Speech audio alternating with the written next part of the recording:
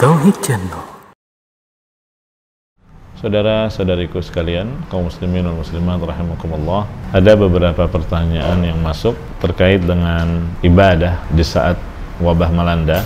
Yang pertama tentang salat Idul Fitr. Apakah tetap disyariatkan salat Idul Fitri dan apakah ada khutbah idnya juga?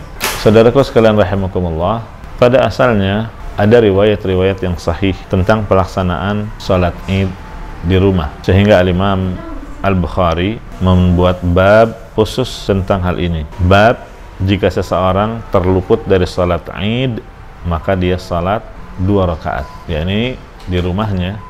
Kemudian beliau membawakan beberapa asar dari Anas bin Malik dan juga asar para tabi'in yang lainnya. Dijadikan jum, apa pendapat atau dalil oleh jumhur ulama tentang disyariatkannya salat Id di rumah termasuk ketika adanya uzur seperti pandemi COVID-19 ini. Adapun tata cara salatnya sama, yaitu yang pertama tanpa azan dan iqamah. Adapun waktu pelaksanaannya setelah matahari meninggi.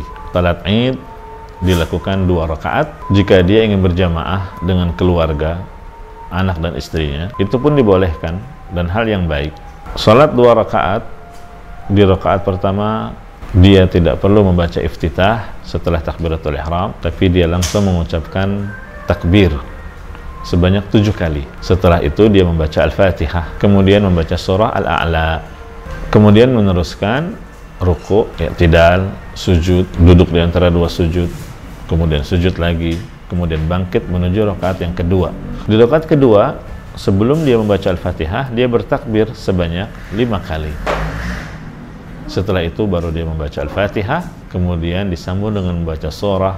Dia kalau mau dia membaca surah Al-Ghashiyah dan seterusnya sampai salam. Sama seperti tata cara salat Id kita di lapangan. Adapun khutbah setelahnya maka tidak perlu karena khutbah Id bukanlah syarat sahnya pelaksanaan salat Id.